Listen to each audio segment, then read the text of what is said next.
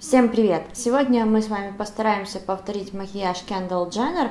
Впереди весна, уже она, в принципе, не за горами, и мне кажется, что ее макияж просто замечательно на эту пору подходит.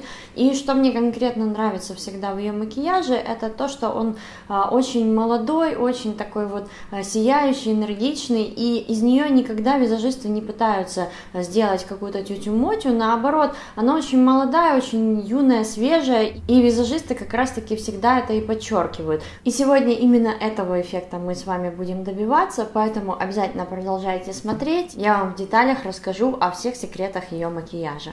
Первое, что я буду использовать, это базу от MAC Pro Longwear Paint Pot в оттенке Soft Ochre. Эта база отлично выровняет оттенок века и подготовит его таким образом к нанесению макияжа. В этом макияже у Кендалл на веке был очень интересный серебристый оттенок, и я в своей коллекции нашла, в принципе, максимально похожий на этот оттенок. У меня это палетка Lorac Mega Pro 2 и оттенок Olivine. По своей текстуре этот оттенок очень насыщенный, но сегодня нам не нужно наносить его насыщенным слоем. Нам нужно создать такую легкую дымку, даже не дымку, а такой легкий оттенок. У Кендалл на подвижном веке всегда какие-то вот такие вот сатиновые и немного даже бывают шиммерные оттенки. А, очень часто ей делают какие-то бронзовые тени. А, часто ее тоже можно встретить с золотыми оттенками тени, они ей тоже безумно идут. Кстати, в одном своем интервью она призналась, что ее любимая палетка теней это Naked 3. Ей очень нравится розовая и бронзовая палитра, и сама она нередко пользуется именно этой палеткой. В складке века у нее практически ничего нет, если уж совсем присмотреться, видно очень-очень светлый, теплый коричневый оттенок, а, и именно такой я сейчас буду и наносить. Я беру всю ту же палетку теней, только на этот раз оттенок Tawny. Этот оттенок, откровенно говоря, вообще погоды абсолютно никакой не делает, совсем легко он был нанесен, и я так подразумеваю, что его наносили для того, чтобы просто растушевать вот этот вот сатиновый оттенок, чтобы не было никаких четких границ, и в то же время, чтобы хоть немножко, но как бы что-то было все равно. Вот как-то приблизительно так. На нижнем веке в макияже Кендалл всегда тоже сатиновые или какие-то шиммерные оттенки, и что удивительно, они наносятся только не во внутренний уголок, а в принципе практически до конца, а бывает, что и до самого конца. Конкретно в этом макияже вот где-то до середины, чуть дальше, чем до середины глаза, был нанесен точно такой же оттенок, как и на верхнем веке, и только вот на одну треть, наверное, глаза тоже такой же сатиновый а, оттенок, только уже немножко более глубокий серый. Начиная с оттенка Olivine, который мы наносили на верхнее веко, я его буду опускать достаточно далеко.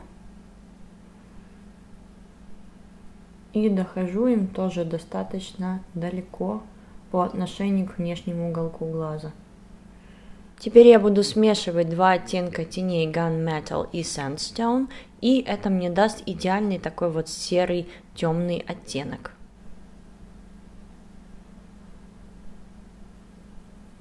Переходим к подводке. Кендалл практически никогда не встретишь с какими-то мега стрелами. У нее всегда стрелочка очень маленькая, и всегда она начинается приблизительно вот с этой точки, там где начало радужки, расширяется к внешнему уголку глаза, и совсем-совсем легкий хвостик выводится, но буквально еле-еле. Вот сейчас я вам тоже покажу, как это сделать. Для того, чтобы сделать такую стрелочку, а, мне понадобится кремовая подводка от Эльф в черном цвете и вот такая вот очень детальная, синтетическая, упругая кисть. Начинаю подводить века где-то к серединке.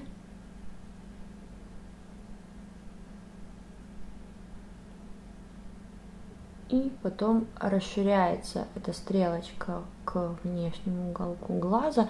И вот сейчас, если посмотреть прямо, то видно, что вот здесь вот у меня складочка моя века. Вот видите, там где заламывается верхнее и нижнее веко вот как раз на вот этой вот границе приблизительно, то есть на открытом веке, вот так вот я до этой границы нарисую стрелочку, нарисую, вернее, направляющую, и уже ее как бы заполню стрелочкой.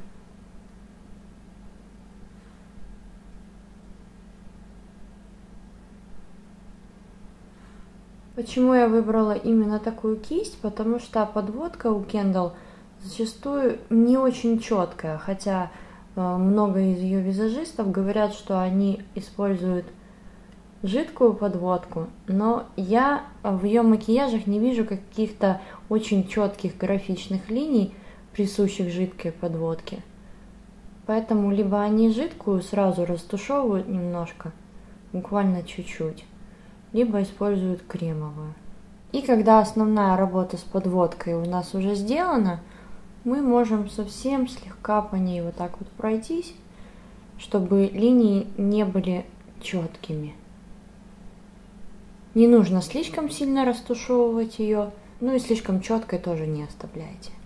Кендалл Дженнер, как и всех ее сестер, невозможно представить без главного атрибута макияжа глаз, а именно роскошных ресниц. Макияж Кендалл Дженнер всегда отличается тем, что у нее очень сильно прокрашены нижние ресницы, также прокрашены верхние, и также на всяких красных дорожках и мероприятиях она нередко гуляет с накладными ресницами. Сейчас я буду очень детально прокрашивать нижние ресницы, и в этом мне поможет тушь от CoverGirl, которая называется The Super Sizer. В этом макияже очень важно постараться захватить просто каждую ресничку. Самое время приступить к накладным ресницам. Я сегодня буду использовать ресницы от Ardell, которые называются Demi Wispies. Что важно конкретно в этом макияже с ресницами, это приклеить их не вот так вот, как э, по классике, а немножко ниже – Внешний уголок ресничек у Кендалл всегда очень сильно свисает, либо вот так вот горизонтально находится, либо даже немножко вот так вот свисает на нижнее веко, и таким образом ее глаза открываются. Этим приемом когда-то пользовался еще визажист Мерлин Монро, а, таким образом создается здесь эффект тени, и кажется, что ресницы еще длиннее и еще гуще. Я наклеила ресницы, и на этом макияж мой полностью готов. Что касается губ, то у Кендалл есть ее фирменная помада, а, и именно с этим оттенком помады ее можно встретить, наверное, на 90% всех фотографий. Он ей действительно безумно идет, это нюдовый персиковый оттенок, и она конкретно пользуется помадой от Estee Lauder, а, и серия называется Pure Color Envy Sculpting Lipstick, и оттенок, который она использует, это Insatiable Ivory. Если вы хотите в точности повторить этот оттенок, то можете, соответственно, купить эту помаду.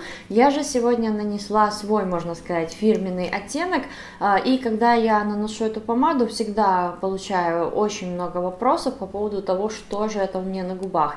А, и сегодня я говорю о помаде от YSL, а, это серия Rouge Volupte и оттенок номер один. Это тоже очень нюдовая помада, но она немножко розовая. В то же время, как у Kendall Jenner, она более персиковая. Ну вот, в принципе, и все. Я надеюсь, что вам понравилась моя интерпретация макияжа Kendall Jenner. Если так и было, обязательно поставьте палец вверх, подпишитесь на мой канал, и мы с вами увидимся в следующих моих видео. Пока! Для чувствительной кожи 0% спирта, защита от раздражения – Ну что ж, погнали. Сейчас у меня на лице только мой обычный уход. Ну, я не хочу сказать, что избавиться от него, потому что я до сих пор не могу сказать, что я от него полностью избавилась, но процентов где-то, наверное, на 60, может быть, даже 70, вот по э, окончанию двух этих э, курсов массажа, я могу сказать, что я от него избавилась.